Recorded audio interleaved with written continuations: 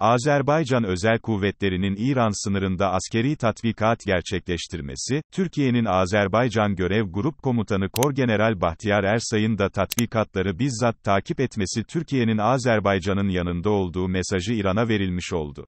Azerbaycanlı siyaset bilimci Turan Rızayev, tatbikatların Bakü'nün İran'a açıktan gözdağı verdiğini söyledi.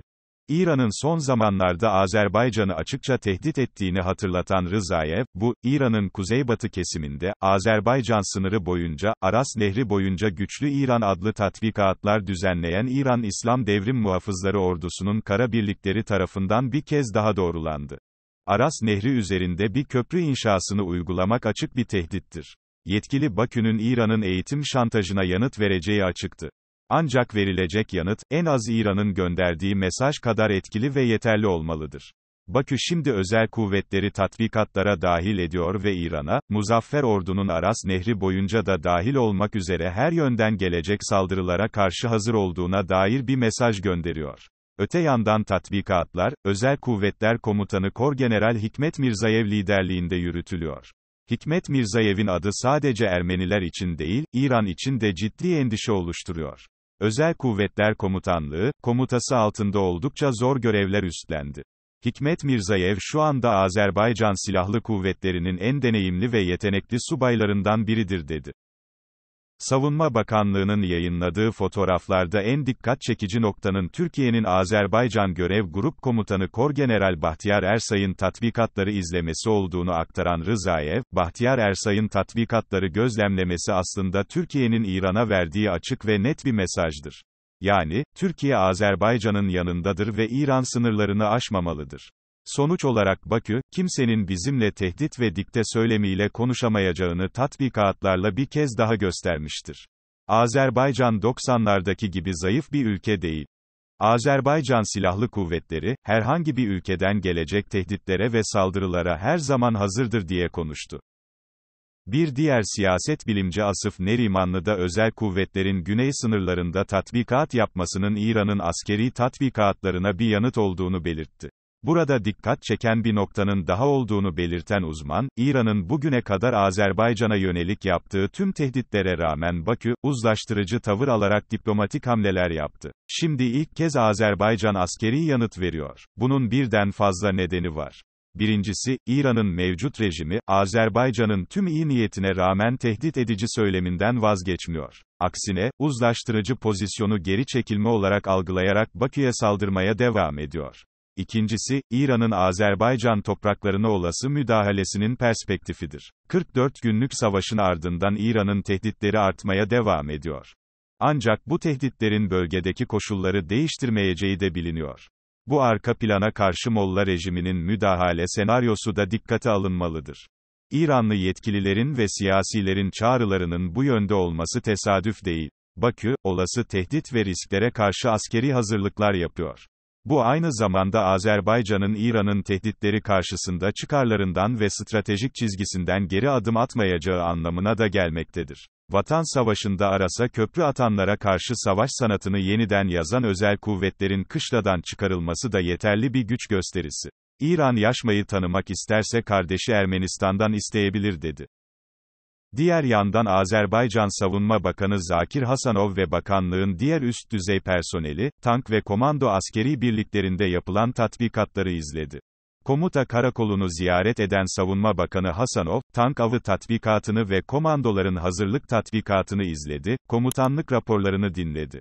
Eğitim sürecinde, konvansiyonel düşmanın zırhlı teçhizatının pusu ve siperlere yerleştirerek yakın mesafeden imha edilmesinin yanı sıra komandoların yerleşim bölgelerinde muharebe görevlerinin icra edildiği bildirildi. Eğitim planına göre tank birimleri, zırhlı araçları ateşle ilerletme yöntemlerini de gerçekleştiriyor.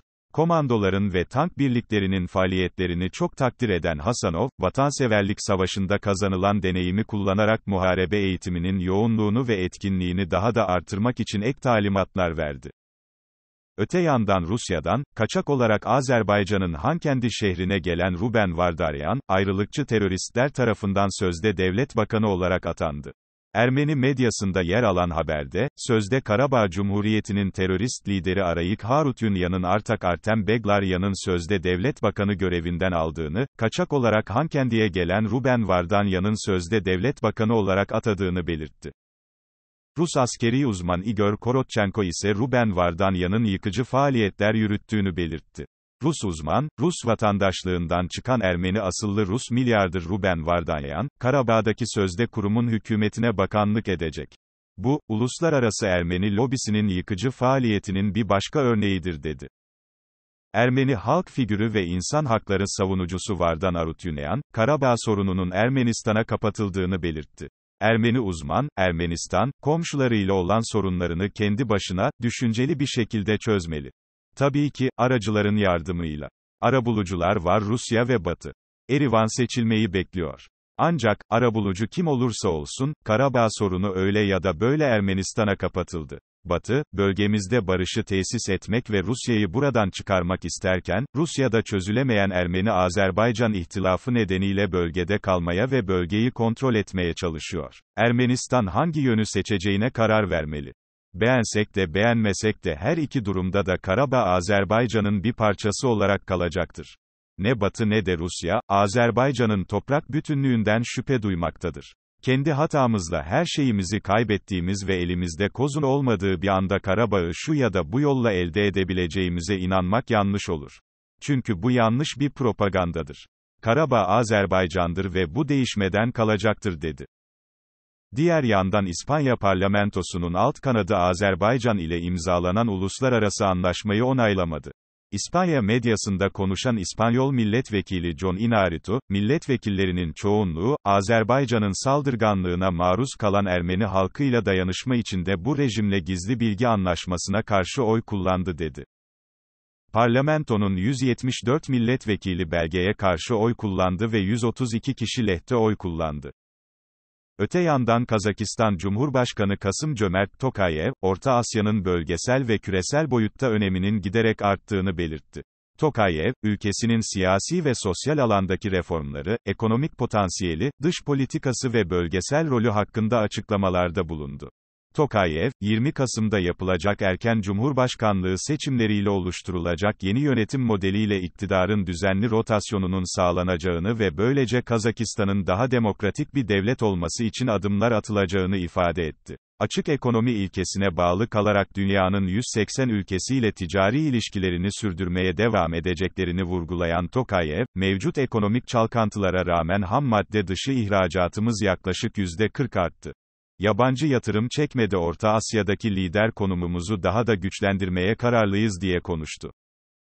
Tokayev, hali hazırda Çin-Avrupa arasındaki karayolu taşımacılığındaki trafiğin %80'den fazlasının Kazakistan topraklarından geçtiğine işaret ederek, bu bağlamda Trans-Hazar güzergahının enerji ve gıda güvenliğinin sağlanmasında giderek önemli hale geldiğini vurguladı.